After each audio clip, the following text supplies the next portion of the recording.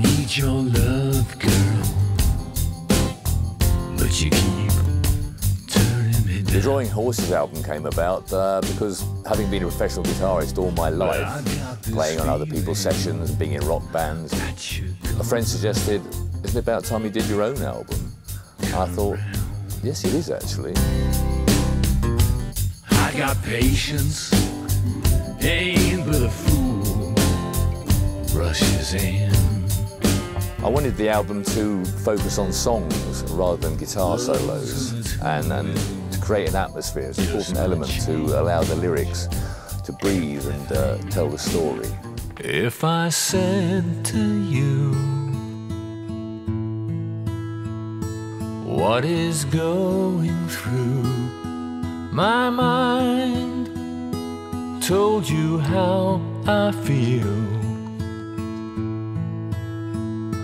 would it catch you by surprise? The stories of relationships, emotions and uh, things I felt strongly about. there a spark to flare from an ember to a flame?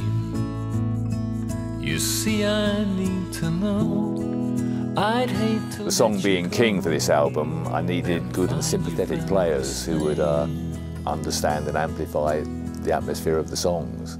on the long train home with your. The writing for this album goes back to 1975, would you believe? I wrote Northern Girl then.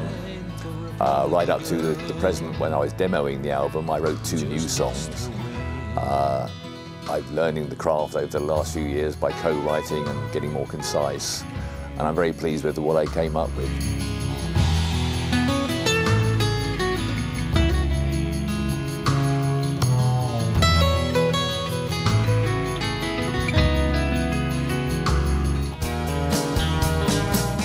Title Drawing Horses comes from my childhood. I was good at drawing horses and constantly seemed to get in trouble for being good at drawing horses. It kind of formed part of my character and it's reflected in some of the material on the album.